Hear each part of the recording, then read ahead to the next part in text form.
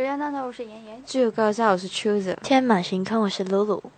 是我们看一下国际，呃，我们看一下中华圈的一些新闻。中华圈的一些新闻最近就很火爆的，在网上就是中国的这个委员长，也是中国全国人大委员长张德江呢，在周三的时候，呃，在去了访问香港了。呃，那么访问香港主要他参加的一个论坛，呃，这个论坛的主要的题目就是“一带一路”的这个论坛。呃，那么其实呃，在这个呃“一一带一路”的这个论坛的。过“一带一路”的这个论坛的过程当中呢，其实我们可以看到哈，香港其实整个的呃，大家都在群起在反抗，呃，反抗些什么样子的一些内容呢？呃，就是呃，张德江，我们要真普选，我们要平反六四，呃，我们要结束中共专政啊，等等的这些横幅就出来了。其实张德江访问在访问香港的时候。大家就是那个路封的是很严实的，有据说啊，就电视转播的时候有八千个这个警察。呃，来做防卫，然后几条道全都全都围起来了。同时有几条道在在十六号和十七号的十七号和十八的时候都限行。呃，在这么一个特别，为什么警察有很多的警察在，嗯呃，在保护张德江呢？难道他的生命真要受到了危险了吗？据说我还昨天听的还有一些报，就是镇暴队哈，就跟在张德江的车后面。这个镇暴队它有很多的特殊的功能。也包括，如果说它的这个激光或者是隐形的一些东西发现路边有些炸弹了，它会自动解除这个炸弹的爆炸。哦，好神奇的一件事情。呃，同同时还有其他的一些这样子的一些行为了，但是足以看到，其实张德江。访港，然后港民呢，或者说部分的港民呢，然后还是有一些自己的意愿和自己的愿景、自己的诉求在诉说着，中间呢会产生了一些很争执或矛盾或剧烈的一些场面，嗯，所以可以看到，其实现在就是香港和呃中国大陆之间的这个矛盾还是依然存在着。嗯，中国最近还挺忙的啊，还蛮多这些呃矛盾啊，还是等等之类的。可是对于这种反恐级别的这些保安保安行为，会不会对会不会有点太大阵仗了一些呢？对于民众来说，他们其实要求的应该只是普通这些诉求，只是要求呃。做只是要有真普选啊等等之类的，然后就用到这些反恐级别。那对待人民来说，是以什么样的一个角度去看待这些人民呢？嗯，是。所以呢，昨天我也看到一些小报道哈，这些报道呢，就是学生们之前香港成立了一个学生的政党，这个政党呢就叫做。香港众志，香港众志当中的这个学生会主要是倡导这个秘书长呢，就是呃那最著名的黄之锋，也就是上像上了这个呃《纽约时报》是还是《纽约时报》还是哪个刊物的一个头版的那个人物形象就是黄之锋了。然后呢，他他是这个呃党这个。呃，香港众志这个秘书长，同时他带领了其他的学生，呃，其他的这些学生包括这个党的主席，包括副秘书，他们当时看听到消息说张德江要周三的时候来香港，那么我们应该做一些什么样子的行为呢？所以他在这个学生阵线的几个孩同学们，三个我看那个照片里三个同学们，他们就租了一个呃。悦那个悦城酒店是悦宾酒店，呃呃，反正是一个酒店，就是在张德江车队正好路过的那个酒店。他们当时的时候呢，就租下了那个酒店的一个房间，从那里住了两天。呃，原因是因为什么呢？如果说你不从这个酒店住两天的话，你到时候再想挤进的这个封锁线是挤进不来的，因为有很多的警察在那把守着，你是进不来的。所以他们之前两天呢，张德江之前。来港两天之前，他就把这个酒店租了两天，在那里，然后大家就在想，呃，我们应该怎样策划？呃，在江德张德江这个车队路过这个冰月酒店之前，我们应该怎样冲上街去？怎样举起我们的横幅？怎样让世界都看到我们香港？我们的香港部分的人还是有反抗的意识的，还是有我们真的诉求和要求的，让世界看到我们的存在。所以他们就开始布置这一系列的活动。呃，你包括呃看到在，我记得在张德江车队。经过那个酒店前面，应该是十二点四十六分的时候，他们那几个人就从酒店的这个他们住的这个房间出来之后，他们每一个人都是化妆化过妆的，因为很多其他人认识他们几个。如果认识他们之后呢，警察就会直接把他们逮捕起来了。所以他们就经过乔帮打乔装打。打扮呢，就在酒店的门口等待着。其实酒店门口其实还有很大很多其他人在在看热闹的人，所以他们就混入了那些看热闹的人群当中。当这个车队过来要过来的时候，感觉这个警察说车队马上过，马上要过，呃，然后他们这几个马上就冲出去了。几个男生哈，这党员的男生学生就冲了，冲到街道上去，冲到街道上去，上面写着我要真补选，我要啊，就是中共反呃。就是反对中共专政，然后平反六四事件等等的横幅就他们就举出来了。然后当时还没过十秒钟呢，很多警察瞬间四十个警察都扑上来了，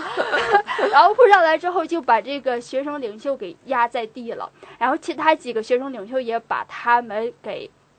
制服了，同时搜他们的身，怕有一些危险的物品在他们的身上。然后张德江的这个车队过去大约是十二点五十分左右，也十分钟之后就全都过去了。过去之后呢，这几个人也就把他们给释放了。他们就回到酒店之后，呃，精疲力尽的，然后吃了点饭，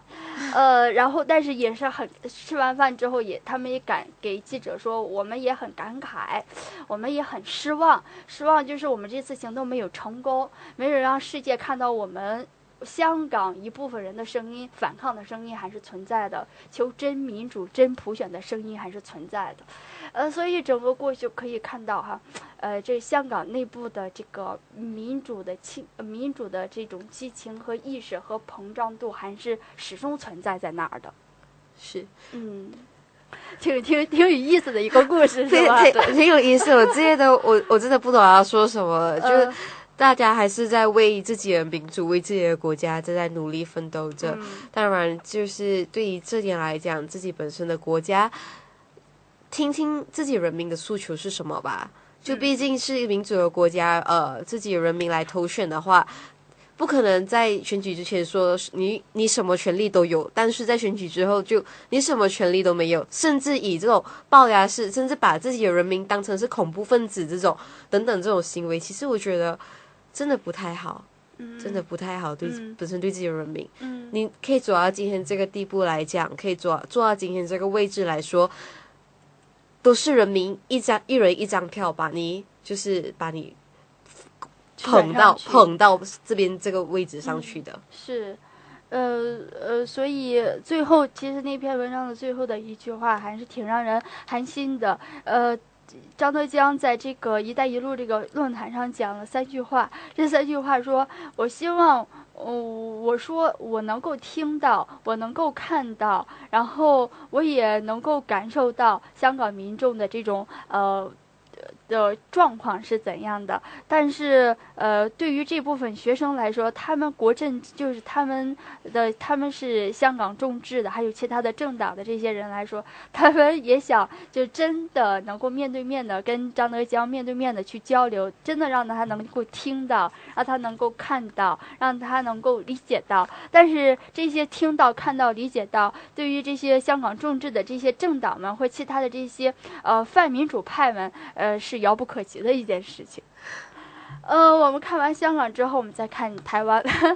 呃，台湾的今天是十九号了，我们正在倒数为蔡英文。明天的时候，蔡英文就就就职演说了。呃，这两天台湾的政坛也是风风火火。你包括之前就是现在还是在任的台湾的总统，呃，马英九先生呢，他他也就是自己说了他八年的总统路程。是的，就是在昨天呢，我们就看到呃，在在那个面子书呢，就可以看到呃一个。小 video，那么就是啊、我们的呃马英九在他的面子书上就发表了一个视频，然后是以一种自嘲的方式去告诉呃网民们他这八年来的那个。网民们对他这八年来的所有批评，然后他就是做出了一个小小的回应。嗯，那么就是在那个 video 里面就可以看到，他是呃，他有说啦，他就说他呃每天晚上呢，他一有空他就会去网上那边看一些朋友们的留言，然后看一些他们给的意见，其实他都觉得是呃。都会让他觉得哭笑不得啦。其中呢，就是有一个，就是他，他有一个名呃名称，就是他们叫他“死亡之握”。那那就是因为之前呢，他跟一些名人都有握手，一握完手以后，那个名人就会啊、就是出事这样子 啊、那他就说哇，原来我的手这么厉害呀、然后在在那个视频里面呢，他还拿那个护手箱来查，就是说他要好好的保护他自己的手。啊哈，是他的手还真挺厉害。大家最想让他的手握住谁的手呢？对，然后他还有，就还有一些网民就他说他是呃，说他脑袋空空，像个玛瑙水母那样。那他就很搞笑的就说啊、宝宝不是玛瑙水母，可是宝宝不说。就就是一个流行的网络术语嘛，不是对网络术语就说宝宝什么，宝宝饿了，宝宝不说。对，他就以这一种方式来成呃，就是回应网民们。然后到最后呢，他也是很感动的，他也是有说谢谢大家给他的留言，是他们的那些留言和意见，让他们整个党呢可以继续的坚持下去，就是他们是他们的动力。那么他也表示说，他会继续关心台湾，也会关心大家，关心这一片土地。那么他也希望大家可以一起携手同心的继续为自己的国家奋斗下去。对这个起这个呃马英九拍的这个影片，算是呃台湾人对马英九终于有一点比较正面的一个呃比较有正面的一点形象了吧？终于马英九给点形象，因为之前对于马英九来说，对于台湾人心里他们的还是比较负面的一个形象，然后对于他这个要离开之前，做出一个对自己至少稍微的稍稍的在台湾人的心里稍稍的有点矫正了吧？嗯，对不对？呃，像是之前，其实这个影片让我想起之前我看过呃一个奥巴马的影片，奥巴马也是拍了一个蛮搞笑的一个影片，来说自己退休过后的生活会是呃怎样的啊？就就就有说打电话去那个打球那边，啊，打电话打球啊，对。就是说嘛，看呃，马马呃，奥巴马退休之后啊，他的生活啊等等之类的啊，嗯对。他还跟他的那个最大的反对党，就是说啊，一起去看电影啊 那么看起来，其实现在的总统他们除了要有一个很威严的一面之外，其实他们可以就是以一种比较呃温暖式、搞笑式的那种形态去跟呃大众有一些互动等等对，可能这样子可以更加明白，其实人民需要的到底是什么。对，是，呃，马英九除其实除了马英九这方面，就是呃获得了很多的赞哈。我看这个影片获得了一百六十七万的赞，呃，但是你让人新奇的一件事情就是，呃，C 中国官媒在官媒，也就是 CCTV 啊这些东西，然后在面子书上的这个赞数超过了 CNN 和纽约时报。对，呃，这个根据 BBC 中文网，就是这个 CCTV 呢，中央粉呃市的这个粉丝专业就拥有了二十五万人说赞，呃，然后这个人民日报来说就有十八十八万人按赞，然后都是呃通过官方呃面书面子书的官方身份认证的这个蓝勾勾，就有这个蓝勾勾来呃认证的。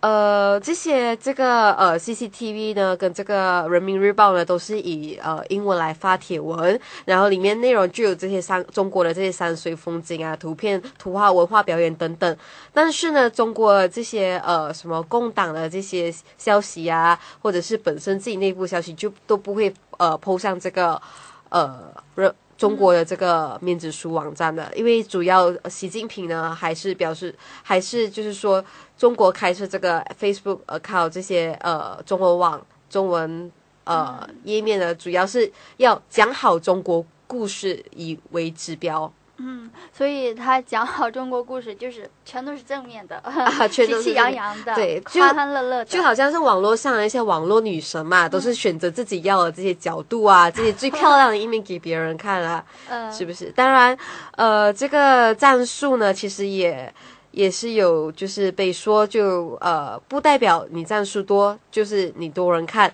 可能这些 CNN 啊，美国的 CNN 啊，是主要人们透。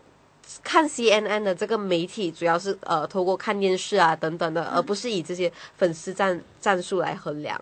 是，呃，也也有人怀疑这个战术有点虚，也许是拿钱买来的。呃，但同时也有一些专家会说，呃，这些赞你包括就是在呃中国的微信或微博，它的如果说它的呃大 V 账号，大 V 就是大。大咖级的一个账号，一般的跟随的人数都是一千左右的一些一千万左右的这个人数，也是正常的一件事情。呃，但是也也是相当怀疑的了。呃，这个究竟这个赞数跟直接的这个收视率有没之间有没有呃它的相关性呢？啊，还是一个疑问。